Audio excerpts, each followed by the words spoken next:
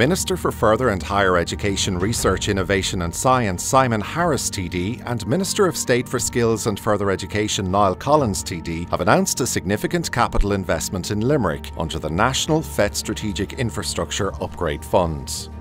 The investment will support the renovation of a recently purchased 1,100 square metre warehouse space on Mulgrave Street and the creation of a new Film and Digital Media Centre of Excellence at the ETB College of FET campus. It will deliver new training initiatives and events to help develop the local film sector and prepare aspiring and emerging filmmakers for employment in the screen industries.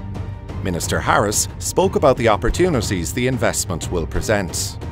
But what the investment today is doing is at a very local level and in further education and training, it is providing so many opportunities. I mean, 500 learners a year being able to access education here in the heart of Limerick City across such a range of programs. So I think it's a really exciting prospect. And then I think when you look at it alongside the education ecosystem in Limerick, you have the brilliant College of Further Education here, you have three universities. So the future is really bright for young people and not so young people who want to access training, education at whatever level or whatever stage of the spectrum they do.